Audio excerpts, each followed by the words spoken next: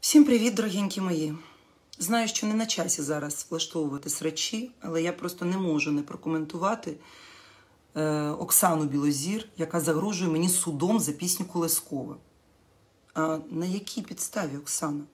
Ви маєте авторське право на музику Мирослава Скорика? Ви його спадкоємець чи, може, співавтор цієї величної мелодії? Якщо це так, то я не здивуюсь вашій діловій хватці. Текст написав Олександр Воротарьов на моє прохання написати пісню про усіх матерів і дітей, які знаходяться у підвалах, на мелодію, яка підтримувала дух в цих людях. Це був поклик, але вам цього не зрозуміти. Тому давайте будемо чесними.